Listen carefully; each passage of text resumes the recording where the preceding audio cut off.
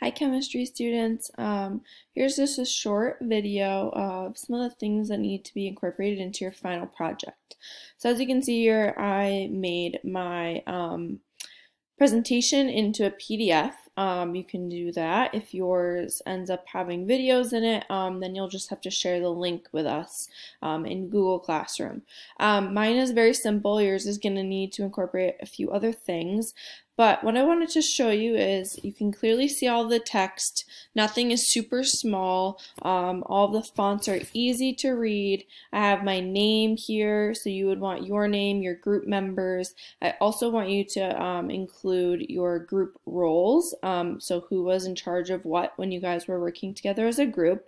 Um, you're going to come up with a name for, you know, a title for your um, project. Um, I do want you to incorporate a purpose um, or, you know, sort of like an abstract as you would um, about what your project has to do with.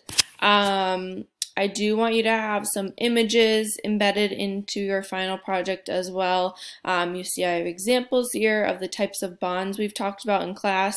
You can incorporate that as well. Um, I would ask that you guys um, in your own presentations incorporate a little explanation about each. I have a picture um, in the name of each type.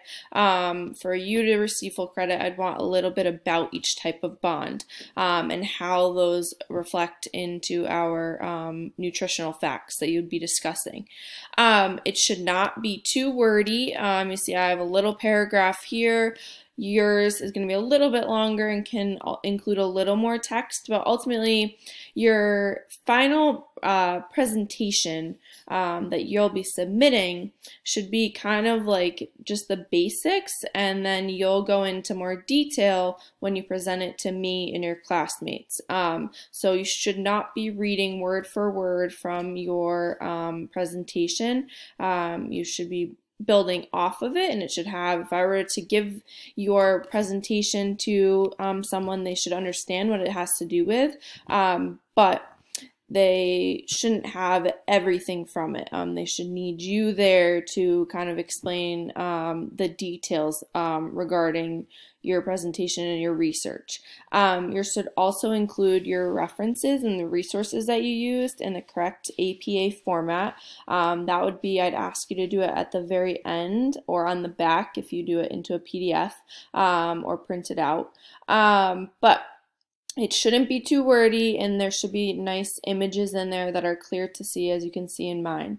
Um, this is just a guidelines, um, you know, uh, as a video, but you should also reference the guidelines I have on our um, Google Sites page that has them clearly listed out with everything that you should include in your final presentation to receive full credit or to go above and beyond to receive an even better score.